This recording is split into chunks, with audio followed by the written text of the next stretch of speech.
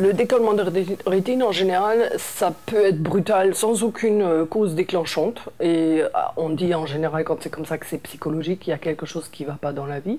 J'ai vu ça quelques fois. J'ai remarqué que souvent, ça, euh, arrive quand on a trop de stress, il y a quelque chose qui ne va pas. Et puis, c'est très important aussi de savoir que les myopes, par exemple, ils ont une rétine beaucoup plus fine que les autres personnes, entre guillemets, normales. Donc, ils peuvent avoir des déchirures de la rétine qui se préparent gentiment, qu'on voit arriver parfois 10-15 ans avant un décollement de rétine. Et de ce coup, euh, donc en cas de stress, surmenage, ou si on est tombé, par exemple, euh, les boxeurs, ils ont beaucoup plus facilement des décollements de rétine. Donc la rétine, elle se fait un petit trou. Comme c'est une membrane à l'intérieur de l'œil, c'est pas vide, il y a de l'eau qui passe derrière la rétine, ça décolle la rétine.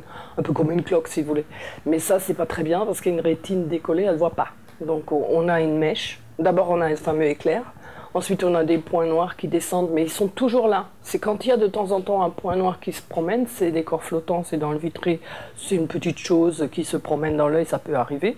Mais quand une, zone noire est toujours là, au même endroit, précédée d'éclairs forts, et ensuite on ne voit pas à cet endroit-là, c'est que la rétine a un problème.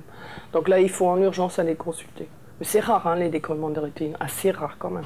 Donc il faut toujours, quand on est myope, demander à son ophtalmos comment va la rétine pour qu'il explique s'il y a un danger ou pas.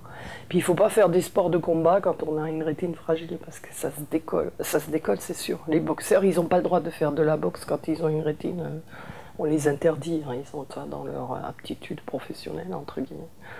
Donc euh, on se rend compte vraiment, on ne peut pas ne pas le remarquer. Sauf si c'est excentré, c'est vrai que des fois il y a des rétines qui se décollent très loin de l'axe de la vision. On ne se rend pas trop compte. C'est le médecin qui va le détecter. Donc il faut quand même de temps en temps aller chez l'ophtalmo.